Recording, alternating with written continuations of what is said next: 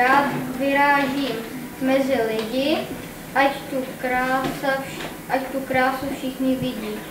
Do brašny si sváčku strčím, vezmu kolo a už frčím. Čtení knih rozvíjí hned několik smyslů. Pomáhá uniknout ze světa problémů, podporuje naši představivost a dokonce čtení knih může prospět k řešení nepohody či úzkosti, podporuje mozkovou činnost či empatii. Čtení také může zpestřit naši slovní zásobu či pomoci k snadnějšímu usínání. Takovouto terapii v podobě místní knihovny nabízí také obec Hrušky.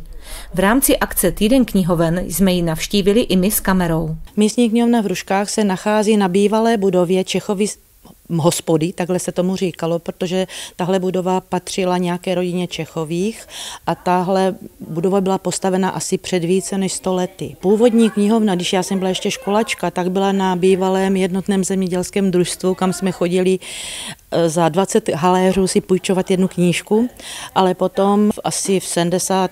letech se knihovna přestěhovala vlastně sem do téhle budovy, ale do místností, které jsou naproti a potom po revoluci se spravila tahle část, větší část budovy a vlastně knihovna se přestěhovala sem. Knihovna disponuje se skoro 9 tisíci svazky knih pro malé i velké čtenáře a v současné době knihovnu navštěvuje okolo stovky aktivních čtenářů. Paní knihovnice Jarmila Létalová také připravila zajímavé programy pro školáky v rámci Týdne knihoven. Týden knihoven je celostátní akce, která probíhá ve všech knihovnách celé České republiky.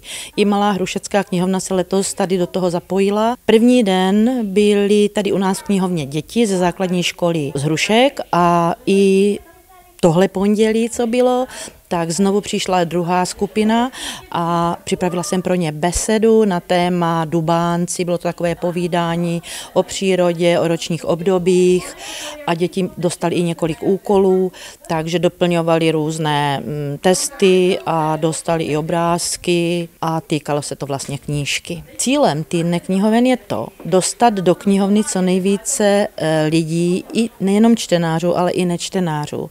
A právě eh, to je to nejdůležitější, co je.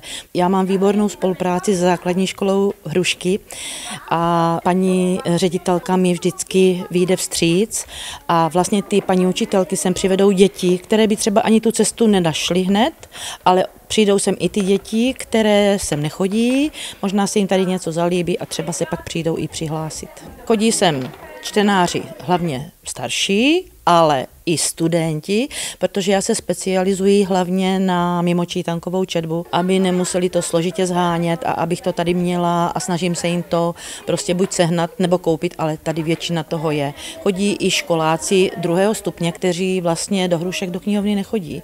Oni navštěvují základní školu v Břeclavi, na, chodí na školu Kupkova nebo na školu Slovácka, případně na gymnázium a taky potřebují ty svoje mimočítankové četby a většinu toho tady já mám. Zajímavé je také půjčování na slepo, kdy zájemce si zvolí téma, o kterém by kniha měla být, ale co se nachází za knihu pod obalem, tak to už je překvapení.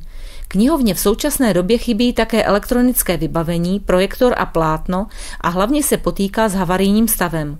Obec jako zřizovatel knihovny situaci v současné chvíli řeší. Paní starosko, jaké jsou plány s místní knihovnou? Plány jsou veliké. Tady stávající budova místní knihovny je ve velmi špatném technickém stavu.